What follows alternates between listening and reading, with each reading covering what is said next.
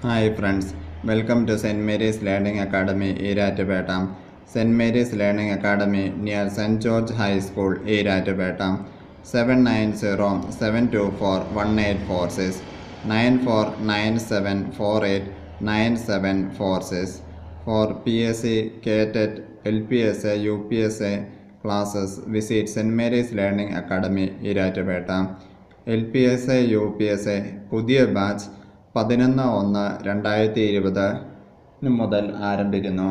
കൂടുതൽ വിവരങ്ങൾക്ക് saint Mary's Learning അക്കാഡമിയുമായി ബന്ധപ്പെടുക. ഇന്നത്തെ video L P school assistant രണ്ടായിരത്തി പത്തിലെ പരീക്ഷയുമായി ബന്ധപ്പെട്ടാണ്.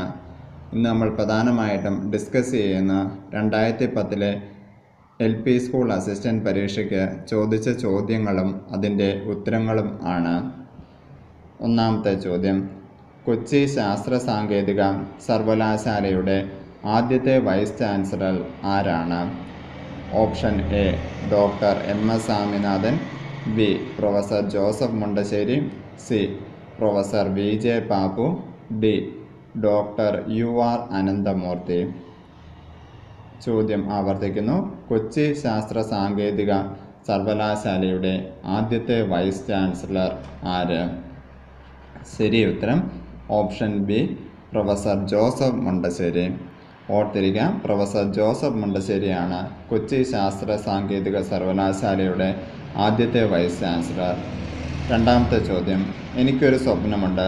പ്രസിദ്ധമായ ഒരു പ്രസംഗത്തിന്റെ തുടക്കമാണിത്. ഈ പ്രസംഗം നടത്തിയത് ആരാണ്?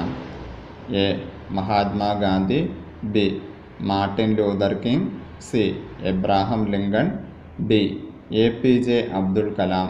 Azad.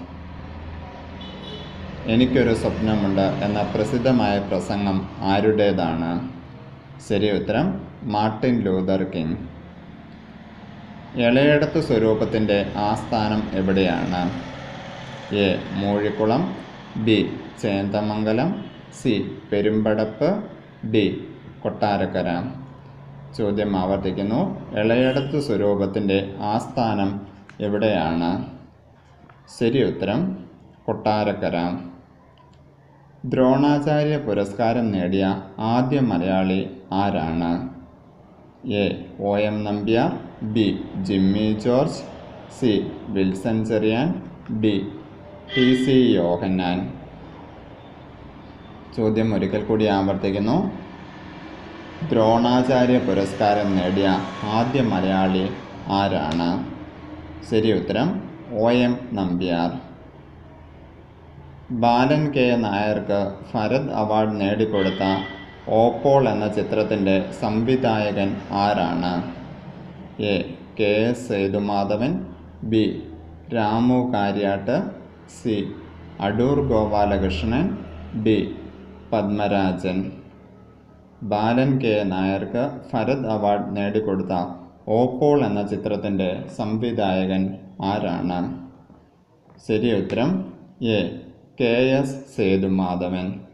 Oppol സംവിധായകൻ കെ. എസ്. സേതുമാധവൻ. യൂറോപ്യൻ രേഖകളിൽ റിപ്പോളിൻ എന്നറിയപ്പെടുന്ന സ്ഥലം ഏതാണ്? A. Mattancherry B. Payyanur C. Edappally D. Alappuzha. European രേഖകളിൽ റിപ്പോളിൻ എന്ന് അറിയപ്പെടുന്ന സ്ഥലം ഏതാണ്? ശരി ഉത്തരം ഇടപ്പള്ളി. ഏതാണ് പഞ്ചമവേദം എന്ന് അറിയപ്പെടുന്ന? A. Thirukkural B. Mahabharatam C. Valmiki Ramayanam D. Aithihyamala. പഞ്ചമവേദം എന്ന പേരിൽ അറിയപ്പെടുന്നത് ഏതാണ്? ശരി ഉത്തരം മഹാഭാരതം. സുപ്രീം കോടതി ചീഫ് ജസ്റ്റിസായ ആദ്യ മലയാളി ആരാണ്? A. Justice K. G. Balakrishnan B. Justice Fathima Beevi C. Justice V. R. Krishna Iyer D.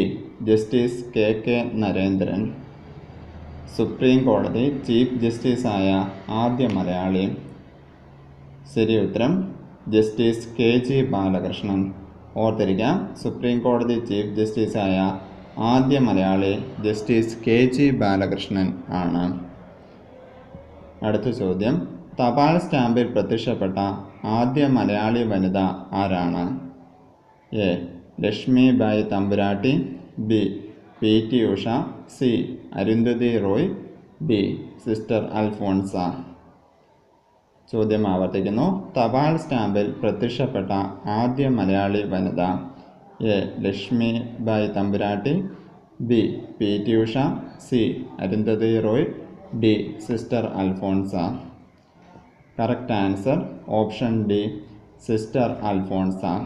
തപാൽ സ്റ്റാമ്പിൽ ആദ്യമായി പ്രത്യക്ഷപ്പെട്ട മലയാളി വനിത സിസ്റ്റർ അൽഫോൺസ.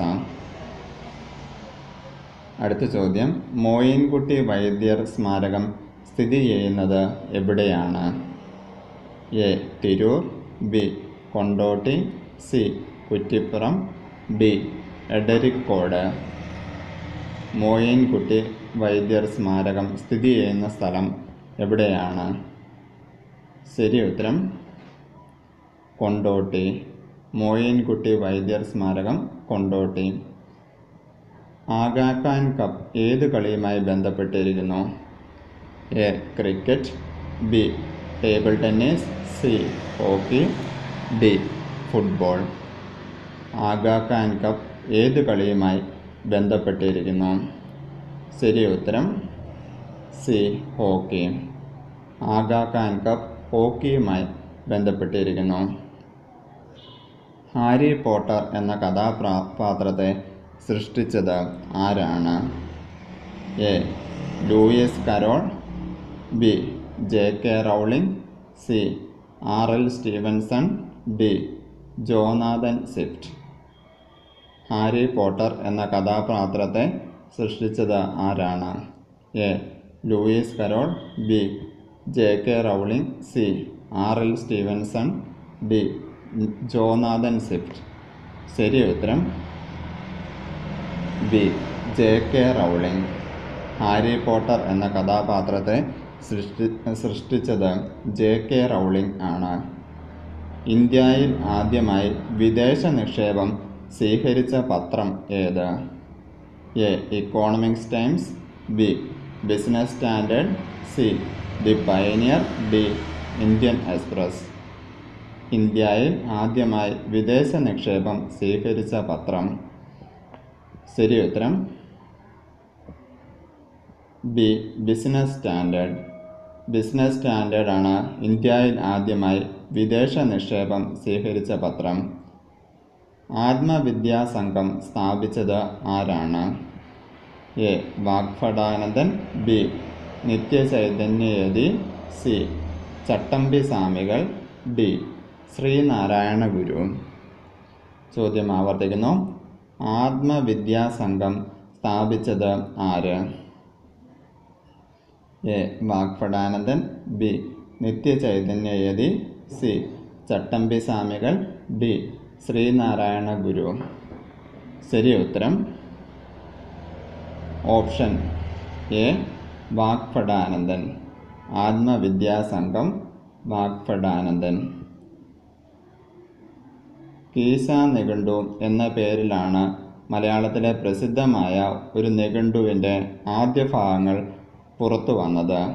നിഘണ്ടു ഏതാണ്? A. Shabdasaubhakam B.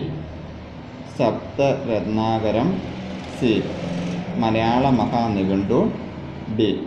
ശബ്ദതാരാവലി. കീശ നിഘണ്ടു എന്ന പേരിലാണ് മലയാളത്തിലെ പ്രസിദ്ധമായ ഒരു നിഘണ്ടുവിന്റെ ആദ്യ ഭാഗങ്ങൾ പുറത്തു വന്നത്. നിഘണ്ടു ഏതാണ്? A. Shabdasaubhagyam. B. Shabdaratnakaram C. Malayala Mahanighantu D. ശബ്ദതാരാവലി ശരിയ ഉത്തരം ഓപ്ഷൻ നമ്പർ ഡി ശബ്ദതാരാവലി അടുത്ത ചോദ്യം.